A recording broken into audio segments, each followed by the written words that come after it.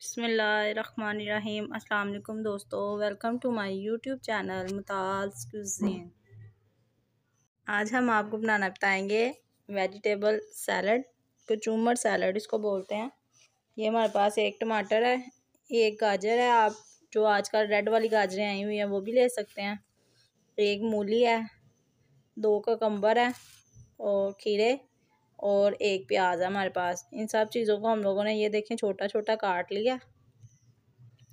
दो लेमन है, half tea spoon हमारे पास ये चाट मसाला है, वन फोर टी स्पून नमक है, वन फोर टी स्पून हमारे पास ज़ीरा पाउडर है। आप ब्लैक पेपर भी डाल सकते हैं चाट मसाले की जगह पे। इन सब चीज़ों को हम बाउल के अंदर डालते हैं।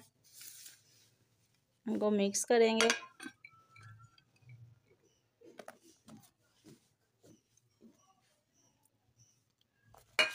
साथ में हम चाट मसाला डाल रहे हैं।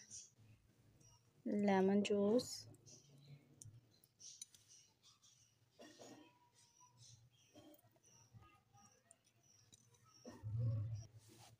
दोस्तों, ये देखें, हमारी कचूमर सैलड तैयार हो गया अब हम लोगों ने इसमें गाजर, टमाटर, खीरा और मूली डाल लिया और प्याज।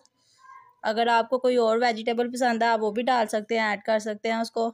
वीडियो पसंद आई हो लाइक करें शेयर करें और सब्सक्राइब करना तो मत भूलिएगा और दुआ में ज़रूर याद रखा करें कमेंट करके ज़रूर बताया करें आपको हमारी डिश कैसी लगी। अगर आप ट्राई करते हैं तो उसकी वीडियो पिक बना के हमें सेंड ज़रूर किया करें। मिलते हैं अपनी नेक्स्ट वीडियो के साथ। ओके अल्लाह हाफिज़